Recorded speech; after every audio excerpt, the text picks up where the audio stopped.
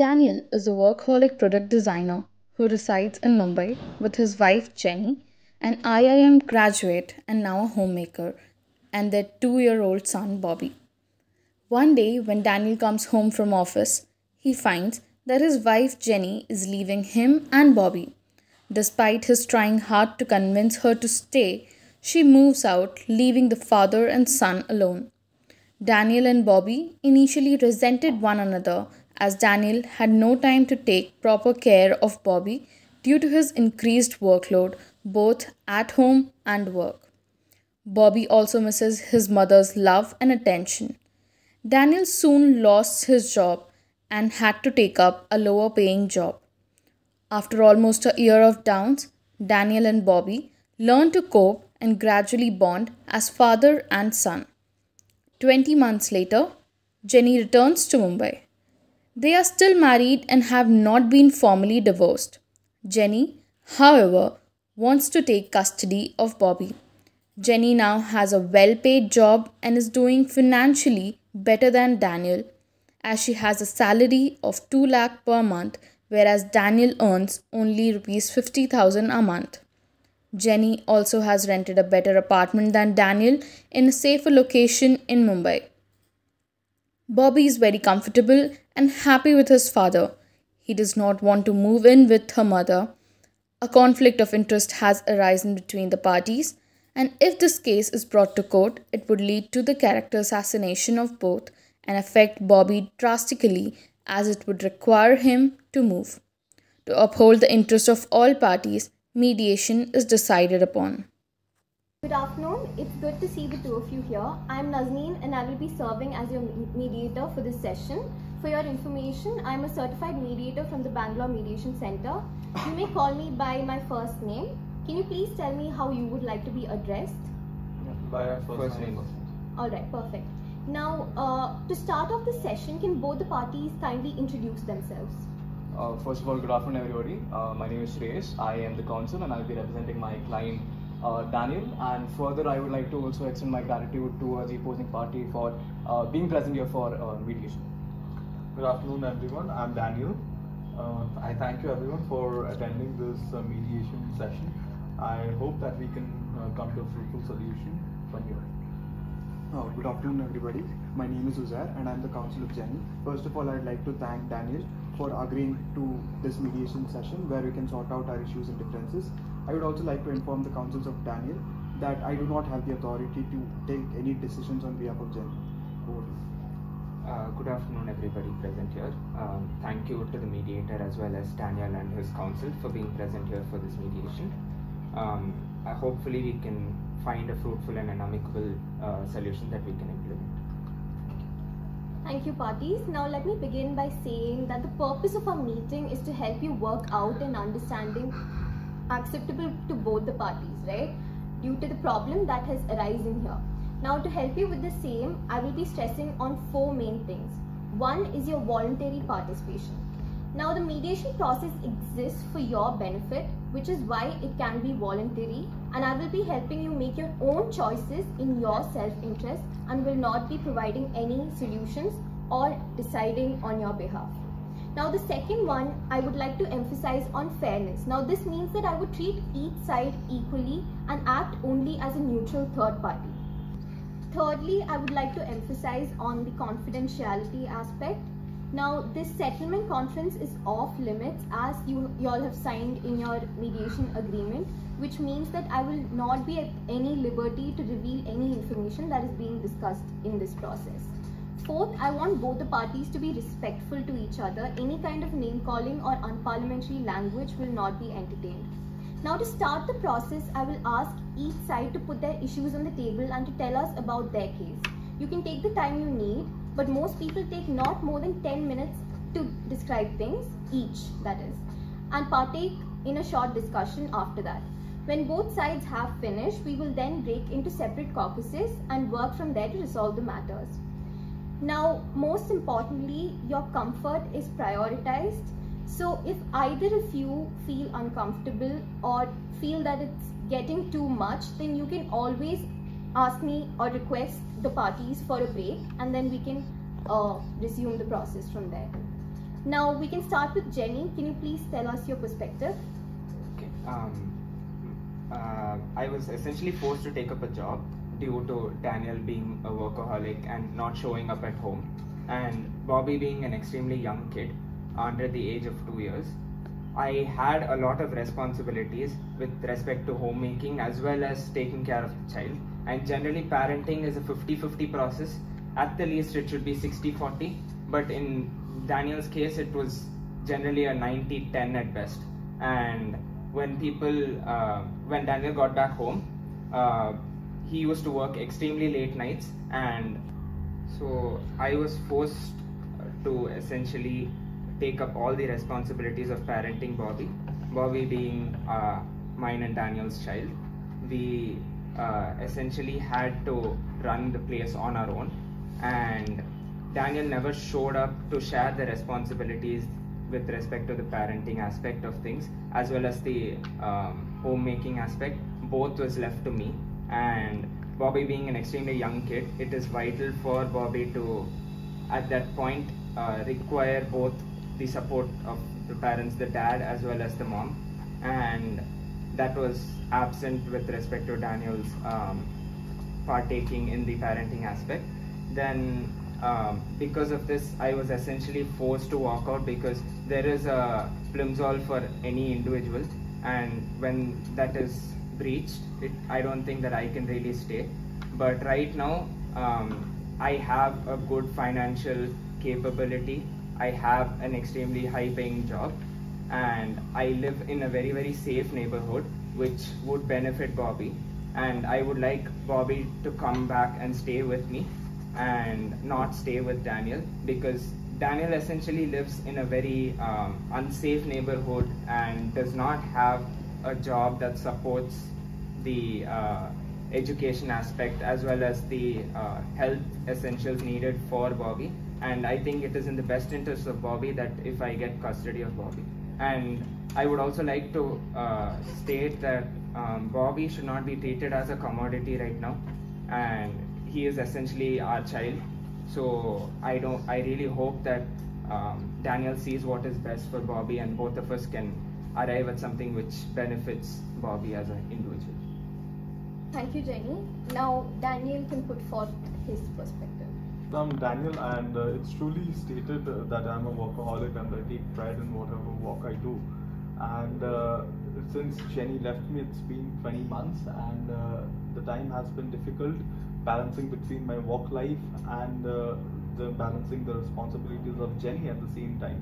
But somewhere I was able to do it, and I really condemn such assertions uh, put forth by Jenny that she's in a better position or the comparisons uh, in whatever manner. And uh, right now, I think uh, I am truly in a very capable position to be the primary caregiver of Bobby, and it's been quite some time right now, and I think we are in consistency, and I am really taking better care, and Bobby is truly happy. So I want to keep the primary custody, the complete custody of the child, and uh, I want Bobby to stay with me. Alright. Um, first of all, thank you both the parties for voicing your opinions and putting your perspective out on this uh, platform. Now, from the discussion that has just happened, I can uh, identify two main agendas. So, the main issue here is the child custody of Bobby. So, now we can start off by discussing the kind of custody that both the parties will take and secondly we can discuss the alternate solutions if both the parties are willing to put forward any solutions as such. Now before starting i would also like to emphasize that this is happening for bobby and i request both of you to consider his future and bobby's security and life in general before making any decision. Now uh, i think daniel's counsel can start by elaborating. So, uh, first of all, I would like to add on to uh, whatever my client has already stated uh, in front of in front of you. So, uh, first of all, it's very essential to understand that my uh, client here has been the sole breadwinner uh, while the family was close, and um, he is he's a workaholic and he's someone who gets very invested into his work Uh, and uh, I feel that the fact that uh, Jenny uh, left him was totally unfair, not only on him, but even the child as well, who at the time was only two years old. So, uh, for the past 20 months, my client here has been the primary uh, caregiver for the child. And uh, it's gone to an extent where he even lost his job and he had to take up another job with a very extensive pay cut. And uh, they are also uh, you know sort of going through a process where they are building a very good relationship. And uh, since this is a case which is revolving around the custody of the child i think that it's, it's very essential to sort of take into consideration the the mentality as well as the comfort of the child. And i feel that since the past 20 months uh, bobby has been uh, exclusively spending time with my client he is very comfortable uh, with the environment which my client is giving and um, I, I, feel you know after 20 months coming and asking for the custody of the child will be totally unfair uh, on my on my client. Uh, and it will be difficult uh, psychologically for uh, Bobby as well uh, to move into a new environment and you know get adjusted to the new environment which uh, you will be giving him. So this is essentially what I wanted to pose in front of you. Believe me, we do not want to do any injustice to you. So while I noticed that Daniel, when he was you know sharing his perspective he was blaming a lot of things on jenny. So uh, you need to understand jenny's perspective here as well. Jenny had was forced to walk up, walk out on daniel and bobby for a reason. Daniel did not give time that was required for his family. So because of that reason jenny had to walk out on her family. And the reason why uh, the relationship between daniel and bobby exists is because of jenny walking out the family so if Jenny would have continued to stay and Daniel would have continued to be the work, workaholic husband that he was 20 months ago, we never know what the future would have hold uh, would have held for Daniel, for uh, for Bobby and Daniel as well. So we cannot look at these two incidents in isolation, but uh, understand why Jenny had to do what she had to do, you know, for for us to come to present situation. So by keeping all of those things in mind and present condition of Jenny, we'd like to propose that uh, Jenny should have the sole custody of Bobby and uh, might explore other options if Danny is open to it. Thank you, Counsel. Uh, so I want the sole custody of uh, Bobby just uh, because of the thing that uh, he, Bobby has been staying on for the past 20 months with me and we are kind of doing great. And right now that I can be the primary caregiver for Bobby. And because of course of the emotional bond which I have developed. And of course uh, this thing is uh, necessary for the mental health of Bobby and a change of schedule might hamper it. Uh, specifically if uh, you take a, if you take him to a, a, different location to a different locality with different time schedules this can lead to disruption of Bobby's routine and that will be detrimental to his health so keeping it in the best interest of Bobby I think it will be better if I keep the sole custody of Bobby See, I want sole custody of Bobby as well because of the fact that honestly, um, he deserves the best of the education and he deserves the best of the healthcare, and there should be no financial constraints for a child. And he deserves a person who actually cares as well. And there is no better person to give that care other than a mother. And I do completely understand that Bobby does need to have uh, paternal care as well. But um, at the minute, I don't think that it is really safe for Bobby to stay with uh, Daniel at the minute because, see, the neighborhood you're in currently is not the best place for Bobby to grow up because there is safety constraints as well as financial constraints, and that is not something I want Bobby growing up in. So, if Bobby does get to stay with me and I do get custody of Bobby. These are aspects that uh, no child should worry about, and Bobby should not worry about the same as well. Thank you, parties. Uh, now I can see that we have reached a deadlock. So, if both the parties allow it, then I would like to break the session into private caucuses. Sure. All right. Uh, we can start with Jenny's side. So, we request you to please wait outside. Alright, uh, firstly, I would like to thank you both for your cooperation and I would like to further remind you that anything that happens here is strictly confidential. So any sensitive information that you could not reveal sort of in front of the other party, you are at the liberty to reveal it right now. So, if you would like to add something, you can. Um, I don't think we have anything to reveal at the minute, but we do have a suggestion that my counsel put forth, and we hope that you can put it forth to the other party as well. Uh, uh, I have conferred with my client and we have come up with a proposal wherein uh, we'd like to discuss the details of physical custody and legal custody with Daniel and his counsel. We are proposing that Daniel grant us legal custody while still holding on to the physical custody of Bobby. Uh, Bobby can continue to stay with Daniel, but uh, Jenny would like to have the legal custody uh, of Bobby. Uh, we are we are agreeing to this terms so that you can reveal it to Daniel and ask him for his approval. Alright, uh, thank you. So, just to clarify, you are seeking to retain the legal custody of Bobby and uh, allowing them to retain the physical custody Yes. of the child. Yes. Alright. Thank you for your cooperation as of now, and I would like to further stress on the fact that everything that happens in a caucus remains confidential. So, if there was any sensitive information that you were hesitant to reveal, sort of uh, in front of the other party, you are at the liberty to do so now. So, is there anything like that? Yes, uh, mediator. So recently I got a job offer from a very big company, renowned company which is based out of Delhi, and I need to move there. And uh, so the kind of amount they will be paying me will be approximately two lakhs rupees a month. So that's uh, three, uh, four times which I earn right now, and I think that will be better for me and Bobby to survive and to balance the responsibilities in such an amount. So. Uh, that's that's uh, a part which I do not disclose right now, uh, which I disclose right now, and uh, I think it would be for the best interest if Bobby is with me right now, and uh, since I if we can move to Delhi, so it would be best in the both uh, in the best interest of us.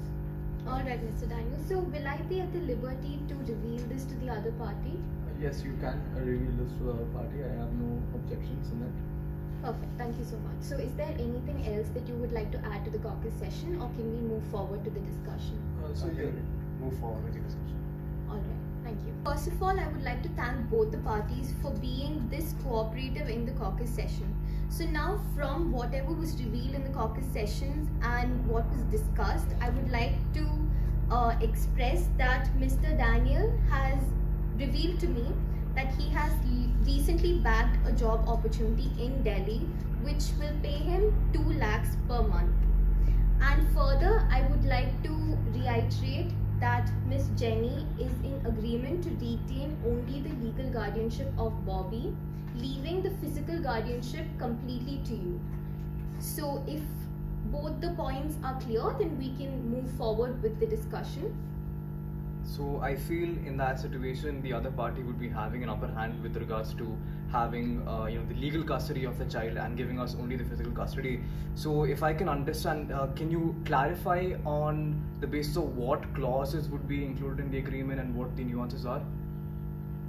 Uh, yes. So what we mean by legal custody is basically uh, every decision related to, say, education or medical treatment will be in the hands of Jenny. So Jenny would be the legal guardian on all the documents of Bobby. Uh, she will be the sole representative of Bobby. Uh, while this is true for Jenny, Daniel can retain the physical guardianship, wherein Bobby will continue to live with uh, Daniel wherever Daniel wishes to live. So just to clarify, uh, there will be absolutely no intervention uh, by Jenny uh, with regards to the physical custody of the child, right? Um, I would like to visit my son once in a while if our schedules can be matched. I can just discuss it. Right? Sure. Uh, so yes, uh, as discussed, I don't think uh, I have a problem with uh, Jenny uh, visiting Bobby once in a while, and I think this works in the best interest of us that I get to keep the physical custody of the child, and uh, you would be the legal guardian and the legal representative of the child. Alright, so I believe that a settlement has been reached. Now, the further process of signing an agreement which you will be granting them the physical guardianship completely. We can do that in further sessions. And finally, I would like to thank both the parties for party- partaking in this session and attempting to resolve this dispute amicably. This could have easily escalated into something less time efficient as well as cost efficient. So I would like to commend and congratulate both the parties for choosing this platform to resolve your dispute. Now, uh, regarding the further processes, our mediation center will directly communicate with both the parties' counsels. Thank you so much for being here. Thank you. Thank you so much, uh, mediator, for uh, assisting this session. Thank you so much, Jenny, and thank you, counsel. I'm really glad that we can come to an amicable solution instead of fighting blankly. And uh, I really look forward to fruitful discussions. First of all, I would like to thank the mediator for uh, conducting the session and laying down the ground rules uh, for this particular session. And further, I would like to extend the gratitude uh, towards uh, Jenny and uh, you know her counsel uh, for you know ultimately coming to a common ground and finding a solution which benefits both parties. Thank you to the mediator present here as well as Daniel and his counsel. Um, this has clearly saved a lot of heartache for both of us as well as for Bobby. And I think this is a very amicable solution that we can implement um, in the next session. Thank you. Uh, I'd like to start by thanking Daniel and his counsel for such a fruitful mediation session, and also I'm grateful that you chose this as a medium to resolve our dispute rather than litigation. I would, I would also like to thank the mediator for aiding us in this session so that we can finish this process smoothly. Thank you.